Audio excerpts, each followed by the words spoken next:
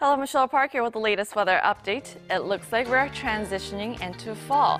The highs were lingering in the mid 20s in Seoul with a cool breeze.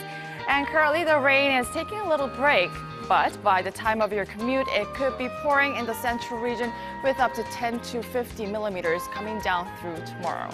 And according to Korea Meteorological Administration, the amount of precipitation this August so far is about three times higher than the average years. Usually, it's still hot by this time of the year due to the high pressure front in the North Pacific.